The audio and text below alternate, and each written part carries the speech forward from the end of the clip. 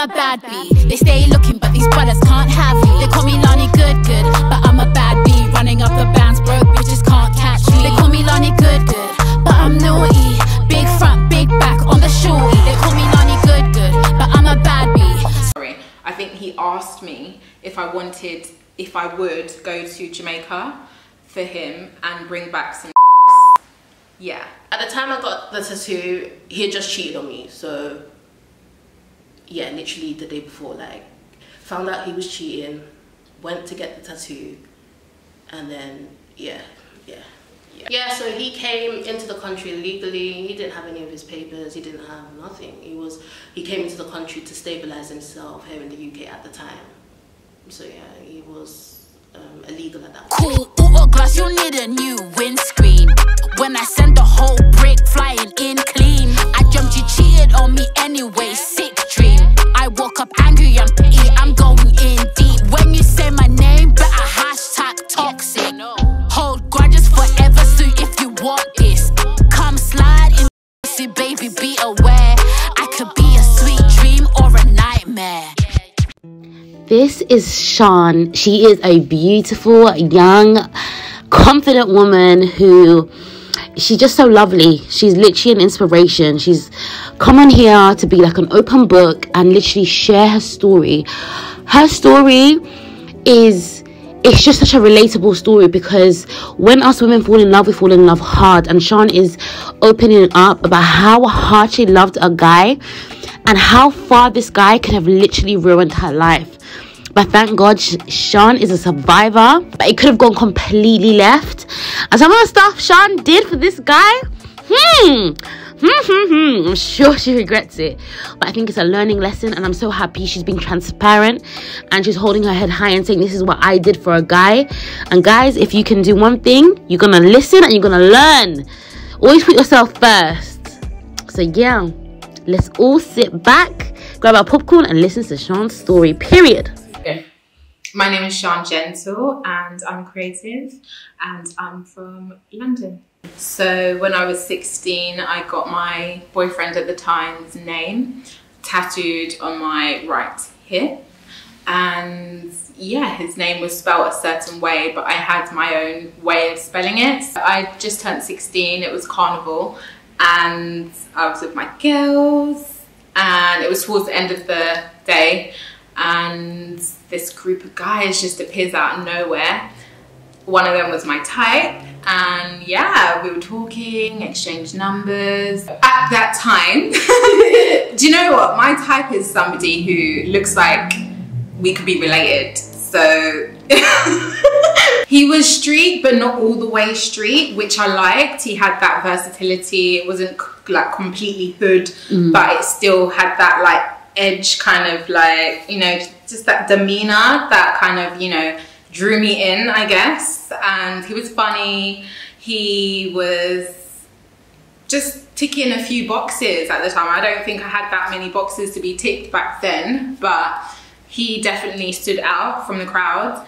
And my friend who I was with actually knew one of his friends so that's how we kind of started seeing each other because my friend was really into his friend and I was into him and we were just literally from carnival moving forward for the next year like we were together all the time. Yeah so the beginning was always good vibes. Like we would always go out we would always be having like parties gatherings. He would just take me here there everywhere. I just felt like anywhere that he would go i would follow. And because i had my close friend at the time who was kind of doing whatever she was doing with his friends, it was like our little thing. We just would always be doing something, go somewhere, and it was always great vibes. Like we never argued. It was never anything, you know, there was no friction. It was always just flowing. And so in the beginning, it was great times. Like he even met my mom and, you know, my mom liked him, even though she didn't like how old he was because she felt that he was a little bit older than me. How old? Um, so he was 21, which in hindsight, you know, I think he was too old for me personally. I just felt like at the time when I was 16, I felt very independent and I knew what I wanted, but I definitely didn't. My name is Jasmine. I'm an artist, an author, a rapper, an entrepreneur, just everything of. Miss Jazzy is an amazing, amazing woman. I'm just so proud of her and I'm just so happy that she was a guest on my documentary. Her story will feature straight after Sian's, literally straight after. So I've put two episodes, I mean, two stories in one episode. So make sure you stay tuned all the way to the end so you can hear both ladies' stories. They're very, very different, but they both have the same message essentially. So I just think that Miss Jazzy, she's a bad She's amazing. She's such a strong woman. And since I want you guys to, you know, get a feel of what type of woman she is, I'm going to show you a snippet of her music just so you guys can get a feel of her character. Come on, let's go, let's get it. He called me Philomena. Bad girl now, every man they need her. Business line, only way you can reach her. These Yahoo boys wanna be a panty stealer. Jaw, no play me like Pele. I did make my own rules straight pepper. Baba God be the one I they turn to. Oluwa Joe, my lost soon I they trust you. Philomena show killer man, what's next? Entrepreneur, that's what I call a triple threat. No need to fake, no accent, UK birth me. One fake copy me, Afro rap queen. Tattoo was, it was kind of towards like six, seven months into the relationship where I felt like we were still on great terms, like the communication was strong. I would see him consistently as I was doing before. But I felt like I kind of wanted to prove myself to him because I kept saying like, when am I going to meet your family? You know, when am I going to be introduced to your mum? And he would always put that off. And it was strange to me because he was living at his mum's house. So I would go to his house, see his mum, but I have to just like walk past her and be like, okay? Like, you know, it was random. So I felt like, you know, maybe if I do this, maybe if I get his name tattooed on me, he'll realize like I'm really the one and, you know, I'm really serious about this relationship. And it's something that I just wanted to prove myself to him. So about seven months in, I said, I brought it up and I was like, oh, you know, like, I'd get your name tattooed on me. And he was just like, really? Like, he was just confused. Like, well, he acted confused, like, where's this coming from? Um, and yeah, like he didn't say no, but he also wasn't like, yeah, go and get it done. Um, and then one day, I guess I just went and got it done. And yeah, like he was just, he didn't really pay that much attention to it. He didn't really seem that excited about it. But for me, it was like an achievement. You know, I felt like, okay, I've got his name on me now. You know, he's not going nowhere. I'm not going nowhere be together forever, all of that fancy fairy tale, you know, vision that I was having. It's very interesting that Sian jumps from stage one to stage three. But I feel like she has maybe missed things that she may see as subtle, things she may not see as a big deal, but she's missed certain signs of things that her ex used to do to make her feel insecure.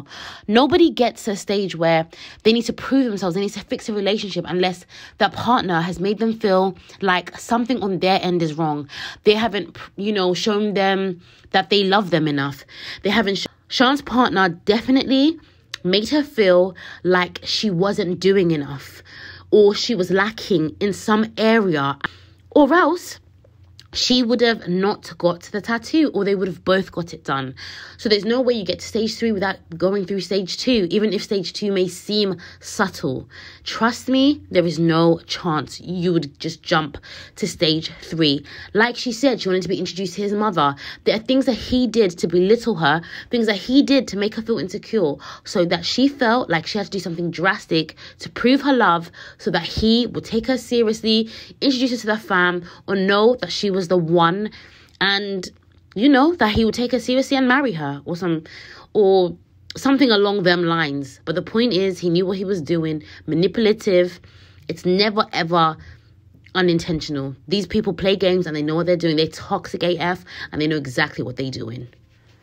So i personally think me getting this tattoo for him indicated like okay i've got her. Like i've got her where i need her and she will do anything for me now because that's when the requests like started to come in and he started to ask me to do you know questionable things that I would never do now because you know I'm a fully grown adult I understand that there's wrong and right and 100% I would never be involved in any illegal activity right now. So, you know, he started to ask me questions like, oh, what about this or what about that? Like, would you do this? Would you do that? And at the time, it wasn't like a red flag. I was just kind of like, of course I'll do this for you. Like, I'll do anything, you know? I've just gone and got your name tattooed on me. Like, why wouldn't I? So that's when things started to, in my opinion, go like left because it wasn't just him asking me to do things. You know, I was going out with him, making moves, like, you know, doing a lot of things that were putting me in a position that could compromise me going to prison. And he was just kind of, in my opinion, he was using me to get what he needed from a situation because he wasn't risking a lot. I was putting myself in risk, in harm's way. I could have been attacked, I could have been like, or not, we won't say that, but I could have been physically assaulted and like in a different kind of a way because I was having to compromise my safety and I was doing it because I felt like, okay, I'm gonna help him. He's gonna get whatever he's gonna get out of this move that we've just made. And, you know, for me, I, I personally never got nothing out of it. Financially, there was no money, there was nothing. It was more, I just felt like I was there to support him in what he needed to do. And then it happened, I think, like three times. And the third time, I literally um, nearly got into an altercation with a man who was part of this move, scheme, like scam, whatever it was that, you know, we were doing. Um, and that really kind of traumatized me because I didn't want to put myself in an environment where I was going to be getting hurt, you know, physically. So when I kind of approached him like, I don't want to do this anymore, like, you know, this isn't for me. Um, it, it just, it also made me feel degraded. Like I felt like I was degrading myself and like losing my self-worth and respect by doing what it was that he needed me to do just so he could get the bag. And to me, it just felt like, what am I getting out of this? I'm getting abused, like literally and he is not even there emotionally supporting me when I'm coming to him telling him like I'm not comfortable with this anymore. Um, so then I felt like once he realized that I wasn't gonna just do anything for him anymore, that's when he started to become a different person. I thought I just resonate so much with Sian because she was in a relationship where feel like she um, was she, she her partner knew that she loved him so much that he took advantage of that and started to get her to do things that she shouldn't have been doing, things that could have gotten her a lot of trouble, things that were illegal. I feel like I was there. If I never mentioned that, then yes, I got to a point where I wasn't necessarily doing it in the sense where um, me and him were benefiting, but there was times where um, I had to go pick up things for him because he was too busy and um, it's things that I shouldn't have been picking up because if I got caught I would have been in trouble and I feel like you know in a sense it just makes you think like if if a human being can put you in a dangerous um, situation when you are a good girl it's just it just shows a lack of love or care because I could have gotten in a lot of trouble and ruined my life even more. There are women who are literally in jail because of a man. So um, I resonate with Sian there and I feel like she's so brave for sharing this and I I just commend her because I know she's got a good soul she's a good woman and she was just with the wrong man. Hi guys. You know, I just thought I want to say something very important. Um, one time somebody um, attacked me. Um, um, and um, they were saying that I used to do moves with my ex. Me and my ex never used to do moves, bro. I have never a day in my life done fraud, stolen. Me, Lani, never in my life. I would never. Um, what I did wasn't necessarily hurting anybody, but it wasn't legal. Um, on two occasions, my person at the time had a performance to go to, but he wanted to pick up a bag from somewhere, or let's just say a package. Like that's the easiest way to say it. He wanted to pick up a package and he didn't trust any of his boys to go get it. So I was the person he trusted the most. So he asked me to go get it. And I went and get it. And I kept it in my house for like three weeks. Can you effing imagine? I kept it in my house for three weeks. And eventually I said, yo, why is this in my house? Like, if I, if, pe- if I get found with this, like, I'm to do time. Um, so I just told him I was to throw it away and then he took it away. And the, the, the thing is, I just want to make it very clear I was not benefiting from any of the stuff I was doing. I was just being very naughty for somebody that didn't love me. Okay. And, um, same as Sian. Sian doesn't benefit from this. She doesn't make a cut, nothing. You're just doing it as a favor for someone because you love them. But no, me, I have never, no, I have never. Don't try it. I wasn't doing moves. I'm not a bad gal. I'm not about it. Like, allow it. Um, I've never done anything to harm anybody. I'm not that type of person. I thought I was helping my babes, but it was wrong. I was driving around picking up stuff like I was a bad gal. But it's a joke, to be honest, a big joke. Personally, I think because when we were doing these illegal activities, it wasn't just me and him, it was me, him, and a few other people. Now, there was one particular female who was involved in this situation who, when she found out my age, she, and I heard the conversation, she pulled my boyfriend at the time aside and was like, this girl's too young. You know, first and foremost, we had to be putting ourselves in environments where it's like over 21s and I was 16. So I think she felt uncomfortable. And you know what? I respect her because I feel like if I was in her shoes and I saw a young girl being coerced into this scheme that they were doing, you know, they're fully fledged adults, it's fine. But a 16 year old, I, if I was her, would have said the same thing like, she's too young, like, you shouldn't be doing this to her. Um, and she kept that narrative, she kept telling him, and we did this thing like a few times. So over the course of us doing what we were doing, um, I feel like it kind of got started to get to him. Like, okay, she's actually quite young because obviously after the third time when I like got into a situation with a person and I told him I'm not doing this anymore. Um, after that, he did become like distant and his distant was just not really communicating anymore.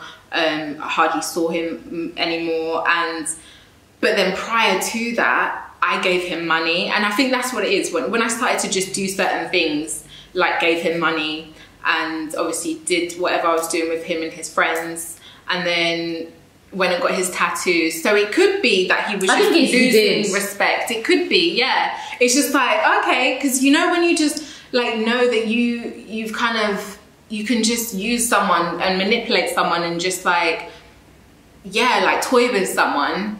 Then you do i guess. You just kind of like you don't see their self-worth anymore. So maybe that that's what it was. He just didn't see my self-worth. He lost respect. Um i have no idea. So i'm literally just Yeah, because you didn't ask him. yeah, so I literally don't know, but maybe that's what it was. He just started to see, like, you know what, I can get anything from this girl. But then obviously, when I stopped making moves with him, he became distant. When I gave him money, the reason I gave him money was because How much did you give him? 500 but at the like 500 is 500 pound. At the time i was 16 working at m&s on a little part-time 16 hour salary.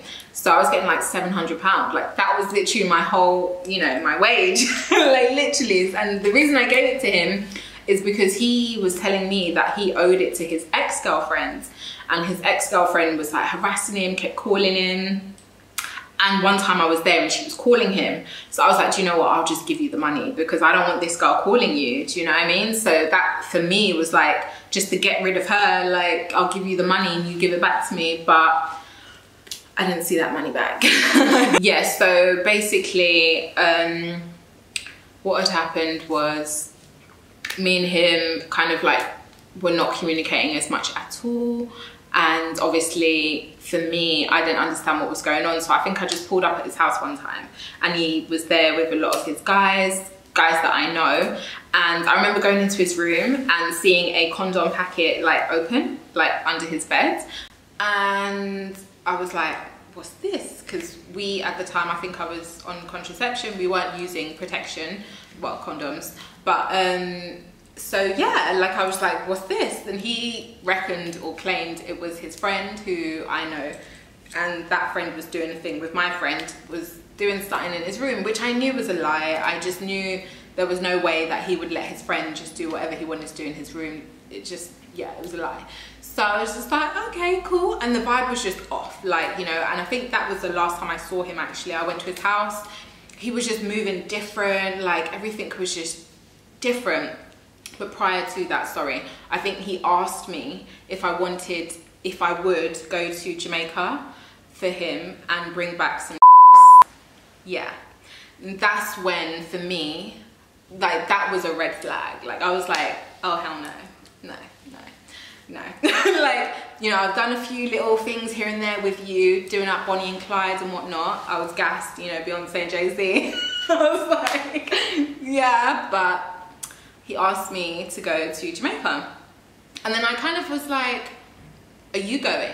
And he was like, no, no, no, it's gonna be with my boy and you just need to bring back a, wrap, like a suitcase. Yeah. So I don't, and this is where I, I think he didn't even register the fact that I was 16. When you're under 18, you need a chaperone, like, or your family. You don't, you're not allowed to travel on a plane on your own. So I feel like I had to remind him, like, if you, well, if you're not coming, then I can't go because I don't know who this person is. And if my parents aren't coming, like, I can't fly. And I think in that conversation, the realization of like, oh my God, this girl is a little girl, like kind of hit him. Um, and he asked me a few times before that. And I was just like, no, like, and I actually, I actually started to think like, would I, would I go? Like I even asked my mum like, oh, would you let me go to Jamaica? Like with some friends. And she was like, are you crazy? Like, you're 16, you're allowed to fly on your own when you're 18. And I was just like, oh, like I, I was oblivious, I had no idea. Um, and obviously I had to relay that information to him like I'm not even allowed to fly on my own without an adult or a chaperone so he kind of like from that conversation after he asked me twice the first time he tried to say he was to go the second time he said no but he was like look you know I'll pattern it my guy is to be there and like it will be a nice little trip and I was just like I couldn't even believe that he was asking me like for a third time I was just like nah like it's not gonna happen, you know? And once I kind of put my foot down, that's when I realized like, I weren't getting my calls answered, like he weren't checking in on me. I don't know where he was. That's when I pulled up at his house, saw the condom under his bed. So he stopped talking to me because I guess he never ended it. We never ended it. It just kind of started to fizzle out. And because I started to realize that every time I would call him or try to go to his house, he wasn't there. So then I just started to realize like, okay, this is over. Like even though nobody said officially like it's over, I just knew it was. Um, so then instead of like calling him to check up on him or see him, I started calling him and asking him for my money back. So I think there was one day and it was just like a really bad day. Like I was just really down. Like I said before, I had a lot going on sort of just in my life in general. Like I'd been through a lot for 16 years of life, like I'd been through so much already. So um, I called him and I was just like, you know, it was ringing, it was ringing. And then a girl answered and I was just like, like what? Bearing in mind, it had been like a week since I'd turned up at his house and saw the condom and na na na, like, and I was just like, mm, you know, I knew something was off, but nothing had been officially said. So I'm like, who's this? And then she's like, it's such and such's girlfriend. And I was just like, oh no, honey, no. like, oh my God. And because I'd already been having a bad day, like that for me was just, I was done. And I will never forget because my cousins were at my house for that weekend and they were leaving that day and I was just going crazy. Like as soon as this girl picked up the phone I was just going mad. And I was just calling him. I must have called him a hundred times calling him back calling him back. Um, and then I think one once he just answered and started screaming he's like don't talk to my girl like that. And I'm just like huh? Like but I, was I not your girl? Like literally last week? Like you know he's like oh he was just chatting the most and I think because obviously she was there he was trying to maybe just act as if like I don't even know who this girl was how she came on the scene when she came on the scene because for from what I knew like we were still kind of together. Nobody he didn't end it and I didn't end it so I was so confused. But I was just going crazy at this point and my cousins were there but they had to leave so they left. And I think I just got to a point where I was just like, I can't take this. Like life is just too much. Like I don't deserve this. You know, I'm a good person. What what's going on? Why does everything need to be going wrong in life?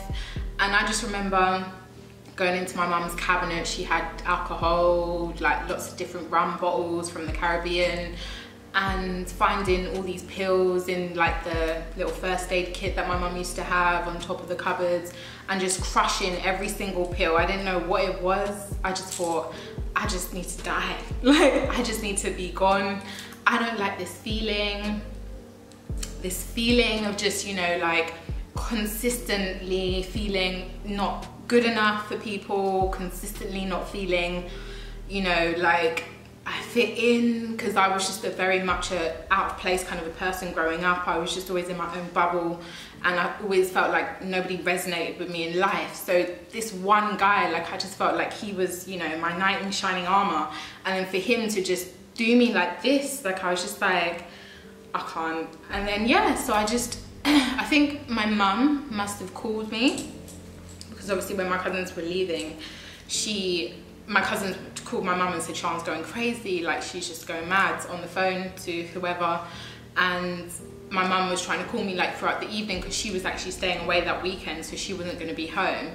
And because I'd taken this dose of whatever it was that I'd taken and drank like a whole bottle of alcohol, um, I was just sort of like in and out of the days. And I think my mum calling me, she could sense that on the phone that something wasn't right.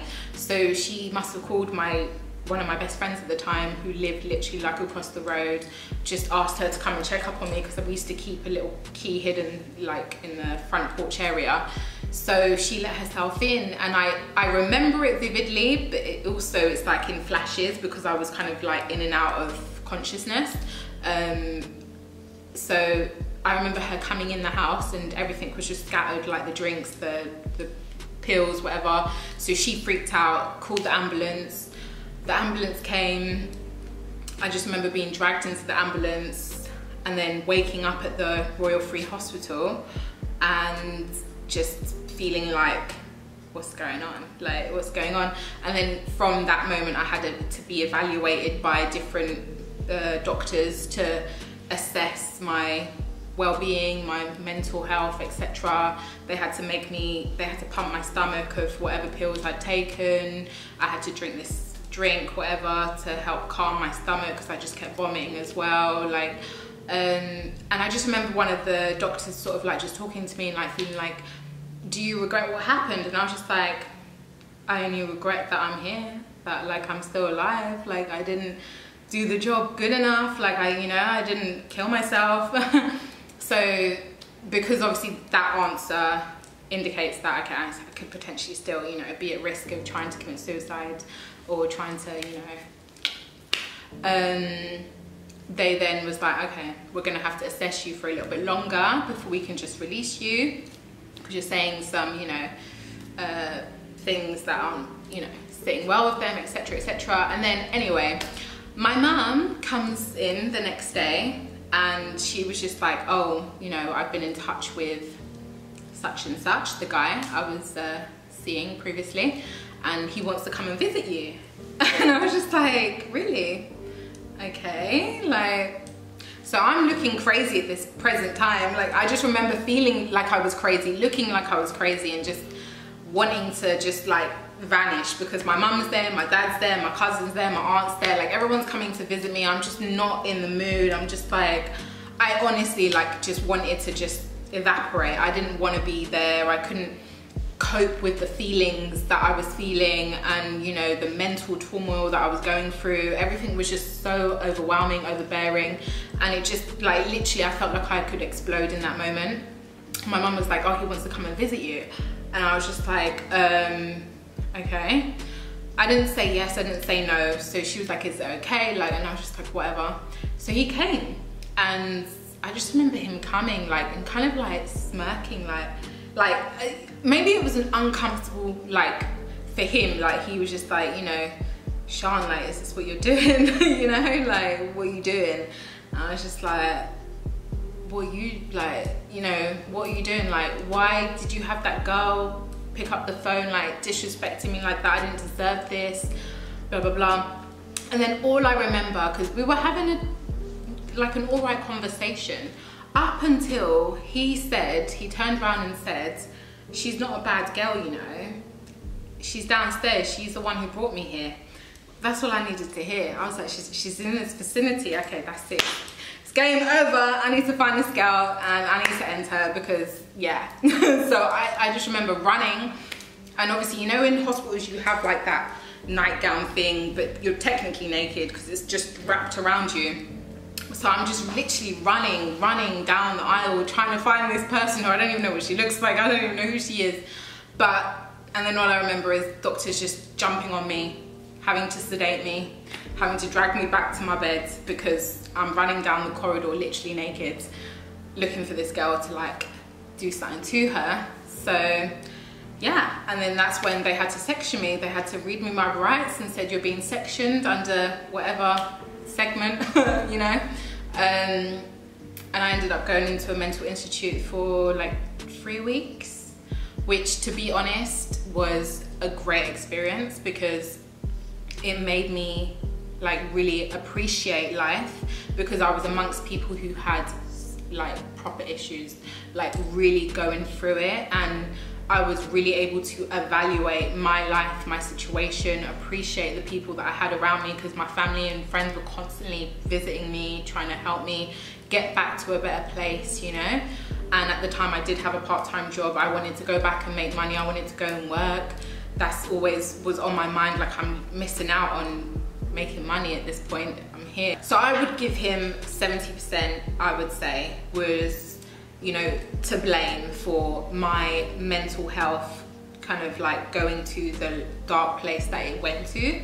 Because you know he was a big part of my life at that time. Even though I had a lot of stuff going on externally and you know I'd been through a lot with people in life. So that also played a part as well. But he definitely was that cherry on the top that just that's that moment that final moment for me was just like it was just too much. And I just I didn't want to be alive anymore and I just felt like anything would be better than having to feel this pain that I was feeling. So in general, when it comes to getting um, a tattoo, unless it's your mum, your sibling, somebody who is your family member, just don't do it because I just feel like you're not gonna be, like that person can forever leave your life, but now you've got this tattoo as a symbol of your love or whatever it is connection to them that you've got. And now you've got to live with that. Even if like for example I've had one laser removal session I'm now going to tattoo over mine as well. But deep down I'll always know it's there and it was there. So you know if you don't want to have that life regret then just don't do it I am so happy. When I was most shocked when Sian told us the story about, you know, going abroad and the smuggling and I was so disgusted, um, almost emotional because I just kind of thought, I can't believe a man wanted to risk your, your life. He just wanted to risk your entire life because he's selfish. It just, it just really disturbed me. Really, it just really disturbed me. I was, I was perplexed, basically. Um, I find it absolutely disgusting and Men just need to do better. But I'm so proud of Sian. She's come a long way and she's a beautiful person and she deserves all the love in the world and it's his loss at the end of the day. And I just resonate with her because even at the end when she talks about, when, I, when, we when Sian talks about being in a place where she almost wants to not even be alive. Life doesn't make sense anymore because she's so she's lost it. She's made such bad decisions with this person that she doesn't even recognize herself in the mirror. She's so severely depressed that she just wants it to all end. I really resonated with that. I never went to a mental institute, but I felt like I was losing my mind at times. I did, and I felt so lost. I felt like there was no hope. I felt like my life was ruined. I felt like my life was ruined. Obviously, I'm fine now, but at the time I, I felt hopeless. So I totally understand why Sian wanted to wanted her wanted life to be over. Yeah, so I literally got a matching tattoo with an ex boyfriend of mine from when I was about 18 years old. So the reason that we actually got a tattoo, it was just me being dumb in love, foolish in love. Literally he wanted us to get the tattoo to prove that he loved me and that um, that's his loyalty like so i followed him to the tattoo shop and got the tattoo because i thought it proved his loyalty as well and that he loved me. But i was wrong but yeah. At the time i got the tattoo he had just cheated on me so yeah literally the day before like found out he was cheating went to get the tattoo and then yeah. Yeah, so he came into the country legally. He didn't have any of his papers. He didn't have nothing. He was he came into the country to stabilize himself here in the UK at the time. So yeah, he was um, illegal at that point. So me and my ex, we met when, when I was quite young. Like I've known him from when I was a child through a family friend. We used to all like have these gatherings with families and I used to meet him there. Um, he had just come from Africa, so he was trying to find his foot here, like in England. Um, so I used to meet him at the gatherings. Um, the relationship was, it, I was young, so I can't, I don't know what to term as good, but the relationship was, it was, it went well for a few years, maybe two, two years, but we were young, so that's, it's as good as it could have gotten at that age or at that time. Before the cheating, we had situations of like abuse, didn't really want to go into that, but that was part of the reasons. But even through that abuse, I stayed. So, you know, and then it, then it was a cheating, then it got worse than the abuse, and this is how I found out that my ex was cheating or he had a side chick. So I was in uni, um, studying my law degree. So I should have been smart, like I should have been, but I wasn't. So I taken that. I, I was actually living with him at this time. We had got an apartment together. Um, he was actually paying the rent, I was paying the bills, but he was doing most of the stuff, so he was quite responsible saying that. So I'd gone to uni with the iPad, and I, I can't remember why I took the iPad, but maybe it was just God, but something told me to take the iPad to uni because I never needed it. So I took the iPad to uni, finished my first lecture, um, was on break, and then the next thing you know, I'm scrolling through the iPad, and I just thought, okay, let me go through the messages and I don't know why. So I think his phone was also connected to the iPad back in the day. That's how it was. So I was going through and I, started seeing messages between his number and another number. And in the messages was he was saying stuff like, "I love you," and um, "Yeah, I can I can only come to the shop for an hour. She's here." And just I was seeing a lot of stuff like that, like um, you know him literally like they were in a full blown relationship but I was living with him. I, just, I was baffled, right? So after reading these messages, obviously I've told my friends, they were my two closest friends in uni, and um, I started calling him, calling him, calling him. He wasn't answering. Then I text him. Um, I've just seen the messages, not, not knowing that he was actually with the girl at the time. So he saw the girl when I went to uni. So I, was texting him, texting him. When he saw the text about me seeing his messages, he's now called me. And he was like, the first thing he said is, are you coming home? And I was like, what? Like, I'm telling you, I've just seen messages with the girl and stuff. So he was with the girl, basically. So what he didn't want to, me to do was leave uni, come home, find the girl there. So I think at that time, he must have kicked the girl out because I was telling him I'm coming home, like I'm leaving my, I left my lectures, didn't finish the day, I made my friends miss their lectures because we all left halfway. We had a few lectures left, in fact we had a full day left. We went to my apartment, obviously he had allowed the girl to go, so we just, we just met him there, fair, fair enough. So he's there explaining, you know, he was good at lying, it's not a big deal, I love her as my friend. He wasn't admitting that he was cheating at this point. And for some reason, my friends were telling me, pack your stuff, let's go. I stayed, fair. The next thing you know, the girl, this is a few days later or um, between a month later, the girl messages me and she says, um, I've got a lot of stuff to tell you about your man, blah, blah, blah, blah, blah. And I was at work at this time. So I said, okay, no problem, let's meet. She said, yeah, I need to, I need to confront him. Let's see who he chooses. Cool. So I said, okay, let's go to my apartment. I live with him, me and you. So I, I meet up with the girl around my apartment where me and him was living. Pull up to the apartment. He comes back. Didn't know that me and her were to be at the house. I was just saying, come home. Um, I was just making up some stuff for him to come home. So he's come home now and he's met me and the girl. so we both confronted him, but um, she had more anger than me, and I was the one that was in the relationship with him for like up at, at that up sorry up till that point it was four years I'm sure. So um, she was hitting him. I was baffled. She was hitting him. She was beating him, saying, "I thought you've left her. I thought you've left." I'm just here. Like, can you? Like, you can imagine. I'm there. I'm so confused. I thought you've left her. Like, how come you're still with her? I saw her. I saw her Instagram post. I'm like, Instagram post. This girl follows me on Insta. Oh my days. So now I'm starting to get a bit angry, but I'm more calm than the girl that is the side chick. So I'm just, I'm because I was just baffled at this point. Um, so he started saying to the girl, "Oh, it's not like that." Then he's saying to me, "It's not like that." Like he couldn't explain himself, and then the girl just said, "Okay, choose between me and the girl that you've been with for four years up until this point." And then he said, "Oh, I'm choosing her." So he walked her out now. So she's still trying to fight him and stuff like that, but he's managed to get her out of the house. After that situation, I know I should have left. but I didn't. So I was more gassed at the fact that he chose me over this girl, and then I stayed. And then, it, you know what? It just got worse. Like, it, I think at that point where she confronted him and he chose me, I should have taken that as my point to leave because for her to be so angry at the fact that he's still with me, then I should have known at that point that he was telling us so many things or so many lies about our situation because you know, how can a girl be so angry and she's not been with him for that long? So that baffled me anyway. So um, he chose me in front of her. So in my head, he's chosen me.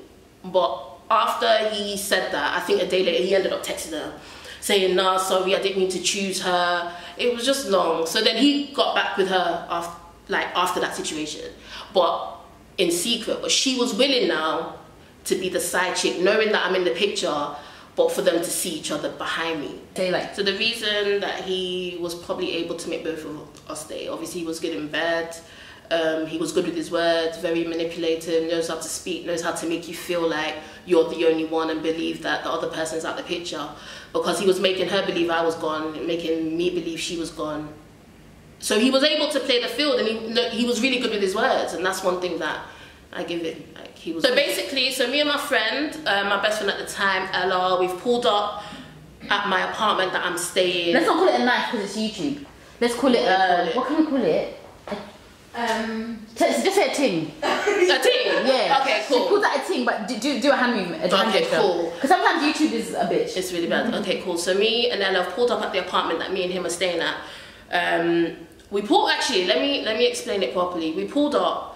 I think it was early in the day, and when we pulled up, I saw a bag. It wasn't my bag.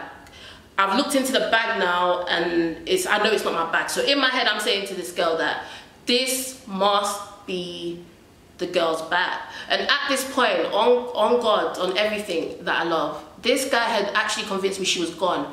Like when I saw that bag, I was in shock. Like I was in shock because I was thinking, because this we this is now a new apartment. Like a year gone by now. How is she? She there's no way this girl can be in the picture. So in my mind, I was even praying to God, like let this be somebody else's bag. It cannot be this girl's bag because oh my how is this girl still in the picture? So anyway, we've seen the bag. So I've sent him a picture of the bag and I said, I texted him saying I'm gonna throw the bag out. Little did I know he was with the girl. And for some reason, either he showed her the message of me saying I'm gonna throw a bag out, or she saw it. Um, um, um, he claims he didn't show her, but how did she see it? Unless she's uh, anyway. So she saw um, the message. So me and Ella now we've gone out and then we've come back in.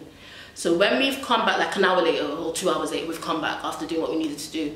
So we've come back in and he's there, and she's in the house as well. Like I, I maybe I came back earlier than he wanted me to. So they're both in in our apartment now, the apartment that me and him stay in.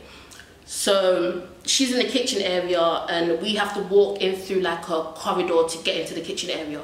So I just noticed that he's holding the door, the kitchen door for me to enter into the kitchen. So I'm pushing the door now and I'm thinking and I keep pushing the door. So Ella's banging the door, I'm pushing the door like what the hell is going on? Then I hear I hear a voice saying, let her open it, open the door, open I'm thinking, oh my days, it's the same girl. He has brought the same girl back into our new house. Oh my lord, I was, I didn't even know what to think. So she's now been able to, because she was stronger than him, because he was. She's not able to open the door now, but he's blocking her. So one thing I know, she's going mad. She was like, "I'll throw you over this, I'll throw you over this balcony." Oh, he doesn't love you. I've been staying in your house. Whenever you go to work, I'm here. I've literally been living here without knowing. He pays all the thing. I know that you don't pay. A she was just going and going and going. So I'm obviously shouting back now because now I'm pissed. Normally I'm calm, but now I think you've got me to level like what? This is a violation now. So anyway, she's ranting, ranting, ranting. I'm, I'm shouting back, like just letting her know, listen, you can't keep violating me. Like I'm like, what are you talking about? You're saying he doesn't love me, but if he loves you, then why am I the one in the house? And why are you the one? Why are you a visitor or whatever? That's what I was shouting back at her. So she's now gone to grab the thing, the kitchen thing from the um, from the kitchen. So all I see is the thing in her hand, and she's coming towards me. Um, she's saying she's gonna end me. She's gonna end me. And then, but he now steps in front of me and kind of in front of her to like block, like she's trying to, he's now trying to stop her from harming me with the knife, oh, sorry, with the, with the thing that he has in his hand. So she's injuring him whilst trying to get to me. So now my friend, that I've, my best friend that I'm, I'm with, she's like, no, this is too much. So she's now closed the door and said, forget this, Jasmine, get your stuff and let's just leave. Because it's either you're going to end up dead because of this man and I can't be the person to witness this because what am I going to say to your mom? So she's, so my friend is now holding the door with force and saying, Jasmine, she's shouting at me now, get your bags, this is, this is ridiculous, get your bags. So I've gone into the room, I'm listening to my friend, I'm packing my bags, I'm packing my bags, packing my bags, but something is telling me not to go. So she's seeing that I'm stalling. Because I was saying to her, how am I going to leave my own place? Like, how is she going to allow me to leave? How is, I was just, I was angry. Like, how am I going to leave my place that I live in for this girl? Like, that violation, I was just not allowing it to run. But my friend wasn't having it. So she was able to overpower what I wanted to. Because if it was up to me, I would have stayed. But God only knows where that situation would have ended if I stayed. So I've packed my bags now anyway. Um, he's now trying to, he's managed to calm her down. So he's now trying to come out the kitchen to speak to me. My friend's not allowing it. She's now, I didn't even get to finish packing my stuff. She's taken whatever I've packed and she's, she's left. And she said, let's go. So I followed her now. We've locked the door and we've gone. Um, he didn't even call me back on that day after I left. Yeah, I, I left the house, the house that we were living in, and he didn't call me back. Okay, cool. So after that situation, I still went back. Like he was doing a lot to convince me to come back to him and come back to the, apartment because I had got the hotel and I'd left for a bit. Um, he was showing up at my job. He was just doing a lot. So I did go back, but um, um, as I said before, he was he was quite abusive. So it was like um, what made me realize and what made me leave. It was actually a minor situation compared to all I've actually been through with him, and that's what shocked me as to why I was like, why did I? Why did this make me leave and not the other things that he had done? So we literally had an argument. He was in the apartment, had an argument, and the argument led to him throwing a drink on me. Like was it Fanta or something? I was wearing white, so that situation. Oh all my days, I was so angry, and I was thinking why is it that this got me angry and not everything else this guy has done to me? But yeah, so he threw the drink over me, I got mad, and from that day, I booked a hotel, left, and I never went back. That's when I left him. He begged, he begged, he begged, never went back, and here I am today, you know? So it was, it was like, what he did, throwing the drink on me, was a small situation compared to what he's done to me previously with the side chick and the abuse and stuff. But that is what opened my eyes. That is what made me want to leave. And I don't know why that is, but it, that, that's literally what it is. Yeah, I think from that I just felt like, nah, the violation is too much. I let I let a lot go and I, I lowered my standards a lot to be with him and he knows this. So for me to do that, take all of the rubbish, help him for help him when he needed it, needed it, helped him with this situation, and for him to do me like that, yeah, I, I give him all the blame. Like I don't I don't take no, I would never, I would, and I would never advise anyone to take the blame either. If, if a man can put you in that situation, a man can make you look stupid, a man can cheat on you when, instead of leaving, because he could have just got up and left. I mean, if he had enough, why couldn't he just leave? Like, it's not that hard. I was never going to run him down, you understand? I, wasn't going to chase him for leaving me. He could have just left.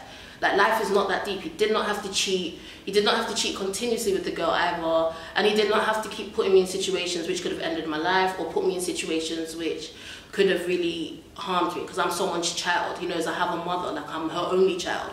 So if something bad had happened to me, then it would be my mom crying. So yeah, he takes all the blame to be honest, and yeah, but he got his karma. She ended up doing him dirty, more dirty than he did me. So I guess that's just how God works in this life, isn't it? And we move. You can't just say that. You have to tell them. Yes.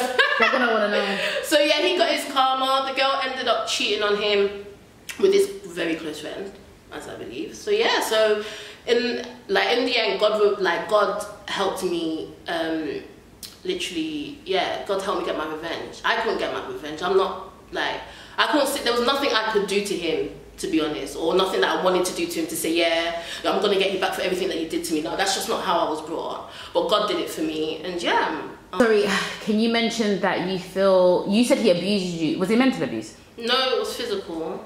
But then why do you not think he it made he's the reason you had low? You don't feel like he's the reason you had low self esteem?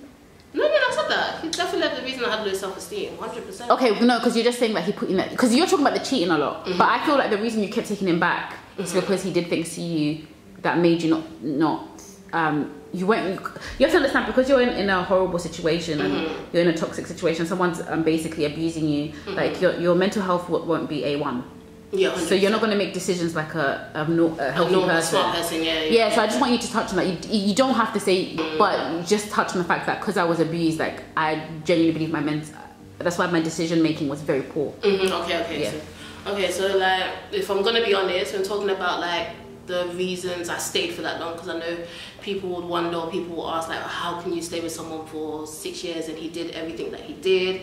Um, if I'm being honest, I would say that you know I wasn't myself. Um, you know, I went through a lot with him. You know, there's some things that I wouldn't really want to touch on or go into detail, but it was it, for my age, it was bad. You understand? Basically, I could have lost my life. You understand? There's times um, the ambulance had to be called. There's times that I had to, you know, go into to uni uh, with a black eye, and I wasn't looking well when people noticed. But I'm I'm finding excuses. There's times I couldn't even see my mom. In fact, I literally ran from my mom. I didn't want to see her because I just didn't look like her daughter, and I wasn't acting like her daughter. So I do believe that. Um, the reason that I stayed is because of control that he had over me. He had a lot of control over me because if he didn't have that control, there's no way I would have stayed. And also, I think sometimes it's actually the shame that I felt because I kept thinking if I left at this stage, like people would just think like I didn't really want people to know what I was going through. I was really hiding a lot. Like my friends didn't know I was abused. My parents or my mom didn't know that I was abused. Um, my mom didn't even know anything about the relationship because I was lying to my mom that I wasn't in the relationship. So I was really by myself in that situation, and I really believe that he was the only person there for me. Um, besides my friends, I had my friends. Don't get me wrong, but I wasn't. I was more stuck to him, and I believed that he was the only person that could give me happiness at the time, or the only person that he he had control over me, basically a lot of control over me, and he used to control my movements. He used to control who I was speaking to. He used to control where I was going, what I was wearing. It was a, there was a lot of control. Like I wasn't myself. It's literally like I was a puppet. Someone was was the master, and that's just how I was going for those years of my life. You understand? So that's probably the reason why I didn't leave Do you- because I couldn't, or I felt like I couldn't. do you feel like he, do you think because a lot of people throw his word around but do you think he was a narcissist Yeah, I believe he was a narcissist. I mean, he he knows how to control, and he knew that I was easily um, could easily be manipulated. He knew, like otherwise, I don't think he would have done it for that long. But yeah, he's definitely a narcissist, and definitely knew he knew my weak points. He knew that he put me in a position where I couldn't see anyone but him. I couldn't even see like I used to think that guys wouldn't even like like me. Like I never used to see myself as pretty. I just used to see myself as his girlfriend and that was it. And then there's no guy out there that would like me. Like why would they like me? Like, that's how I used to think. he used to tell me about my hair. He used to tell me that I used to have like I don't know. He just used to make it look like I wasn't um, as pretty or I wasn't pretty or I couldn't get anyone besides him. And I believed it. I couldn't lie to you. I believed it. And it wasn't that he was David Beckham or, or you know, he wasn't he wasn't that handsome to, to tell you the least, but he made me feel like he was all I could achieve, especially with a man. So I'd go to uni, men would, even men like outside, like boys in my uni, they would try and talk to me and stuff, and I'd, I'd literally be like, no, there's no way he's trying to talk to me. Like, I'm not even that, I'm not even pretty. Like, what, like, what is going on? Like, no, no, no, no, no, no, no. Like, I was just so in my head because of his control. Um, but yeah, it was, yeah, a lot to do with his control and how he made me feel as a person. And yeah, I would never advise anyone to, to be in that type of situation because it's very, very dangerous and it's very deadly. Advise anyone to get a tattoo with their partner. Like I just want to advise it. Like I got a tattoo thinking that it would prove his love and his loyalty. It didn't prove anything. Like it just got me into a worse situation. Like I would never advise don't get a matching tattoo, don't get his name. Even if he says get a flat, just don't do it because it doesn't prove anything. Most of the times these guys are making you get the tattoo just to pretend or to to to make you feel like your love with them is strong. It is not. Trust me. They're doing exactly the same thing that they were doing before the tattoo, after that, after the tattoo. But they just want you to have it to make you feel like they're in love with you. I, I just feel it makes yeah. Just don't don't get the tattoo. She seems. I, I feel like when you look at her at face value, Miss Jazzy looks like she's confident and like she um, isn't a super vulnerable human being. But that's the thing and that's why I want you to look, out for the red flags because you can't always recognize the type of person that's in this situation. Miss Jazzy is brave and she is she does look like a you know a boss bitch and a bad bitch and somebody who can stand up for herself. But the, the truth is she herself um, you know puts up with a man's nonsense and abuse for for for for for, for years. This man wanted to use her for whatever she she could benefit him for. This was not love. And I think she's just so commendable because a lot of women will shy away from telling their stories because they want to create a facade. They want to create an image. And I just commend her for talking out loud and telling her story. It's not easy for a woman to come um, come online and with her chest say, I kept taking back a man. I kept taking back a man even when he cheated on me. Even when he cheated on me, even when he took the piss and abused me verbally, physically, it's not easy. So I commend Miss Jazzy. She's a strong woman. She's a beautiful soul. She is an angel. I, I personally think she's absolutely wonderful and I commend her. The trauma that stays with you can be so deep that it takes years to get on the other side. I want to say something really quickly before I end this documentary. There's a lot of things that healed me, including my supporters, but loads of little different things healed me from my trauma, my pain. But if we're going to be specific, one time, and I hope the girl's watching this, one time I got a DM from a girl who'd watched a story time of mine. And she said to me, you remind me of my mother. Because my mother is in a lot of pain emotionally and she's gone through a lot with my dad. They've had, I think she said they've had about five to six kids. Her dad's basically a scumbag and her mum is broken. And she said, no matter what, no matter what happens, no matter how much mum tries to move on, it's been 10 years and counting and my mum is just broken. She's half a shell of herself because of my dad and you remind me of her and I'm sending you prayers. And I said, 10 years, God forbid. And I knew in that moment when that girl said that to me, that she went lying. She was not lying. I could take this uh, five years, six years, seven years, I could be her in 10 years, still crying over this man that doesn't give a damn about me. He doesn't care whether I'm alive or walking. So I made a conscious effort to say, you know what? You are worth it. You are that bitch. Okay? You are beautiful. You are priceless. You're a queen. Your heart is big. You're funny. You're fantastic. And no one's going to tell you otherwise. You better wake the F up. Okay? Your mother your mother who you love with all your heart and soul Your mother, who is a queen. Your dad, who worked hard for you. Your dad, who has done like three degrees, came to this country to give you a better life.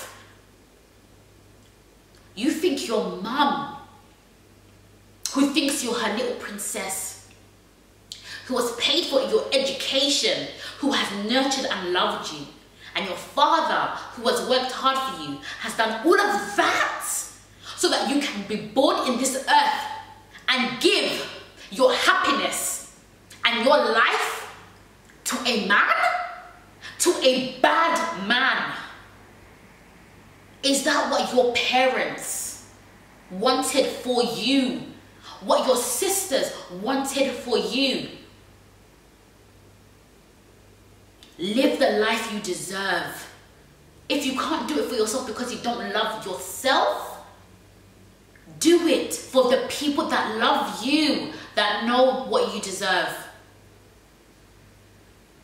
And I made a conscious effort that you're gonna get over this. You're gonna fight until the end. You're gonna you're gonna bleed. Doesn't matter what you do, because you guys know I got my house my house smashed. But it could have been worse. It doesn't matter what you go through. It doesn't matter what the consequences are. You're gonna fight. You're gonna fight, and you're gonna get your life back. Every day. Do not get me wrong. People go through breakups. People go through hardships. Cool, they should last a month or a couple of months, two, three, four, five months. It's okay to be sad short term. But going on years, I said, sis, you need to wake the F up. You need to wake the fuck up. Okay, you need to wake the fuck up. Some of the coffee, bro. You are not going to give your life to this man. God forbid. You deserve better. Do it for your fucking mum. And I did. And I did. They call me Lonnie Good Good, but I'm a bad bee. They stay looking, these brothers can't have me. They call me Lonnie Good Good, but I'm a bad B. Running up the bands, broke bitches can't catch me. They call me Lonnie Good Good, but I'm naughty. Big front, big back on the shorty. They call me Lonnie Good Good, but I'm a bad